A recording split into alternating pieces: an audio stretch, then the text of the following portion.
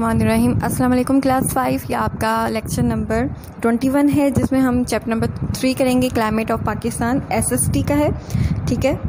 और इसमें हमारे पास वर्ड मीनिंग्स जो हैं, वो आपके सामने गिवन है। वर्ड मीनिंग्स, क्लाइमेट आबो हवा समर, मौसम गर्मा, टेम्परेचर, दर्जा, हरारत, अफेक्ट, असरात, कोट, सर्द, एटमोसफेयर, माहौल, मॉइस्चर, नमी, मानसून विंड्स मानसून हवाएँ, साइक्लोन, गर्द पार कंडीशन हालत प्रेशर दबाव सीजनल मौसमी सैलेंटी तिरछी सन रेस सूरज की शुआएँ और इसका जो ट्रांसलेशन पैराग्राफ है पेज नंबर एटीन पे है क्लाइमेट अफेक्ट्स द लाइट से स्टार्ट हो रहा है आइस इंक्रीज पे ख़त्म हो रहा है।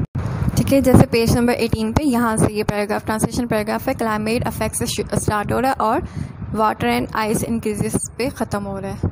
और इस पैराग्राफ की ट्रांसलेशन है आबो हवा लोगों के रहन सहन पर अंदाज होती है। गर्मियों के दौरान बहुत ज़्यादा गर्मी से लोग थकावट महसूस करते हैं।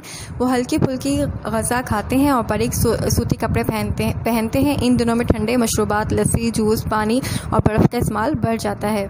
और इसके अब क्वेश्चन आंसर्स करेंगे। क्वेश्चन नंबर वन है what is climate the changes in atmospheric conditions is called climate question number two briefly discuss monsoon winds इसका आंसर जो है, ये आपके सामने गिवन है तो इसे आपने यहाँ से देखकर नोट करना है अपने नोट्स पर और याद करना है अच्छे तरीके से। Question number three what is cyclone give a short account ठीक है? और ये आपके सामने इसका आंसर गिवन है। आपने इसे रीड करना है, अच्छी तरह से याद करना है राइट करना है, ठीक है? नोट्स पर, ठीक है? Now question number four how does climate affect on the life of people तो इसका आंसर आपके सामने गिवन है। Question number five write a short note on green house effect answer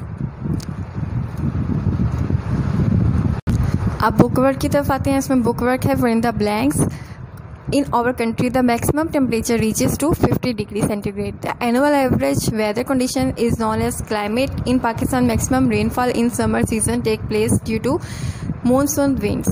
ठीक है इसमें जो भी आप इस लेक्चर में आपको नोट्स क्वेश्चन आंसर्स दिखाए गए हैं वर्ड्स मीनिंग्स ट्रांसलेशन पैराग्राफ इसे आपने अच्छी तरीके से याद करना है और हैंड राइटिंग का खास ख्याल रखिएगा लेक्चर आज का यहीं ख़त्म होता है टेक अल्लाह हाफिज़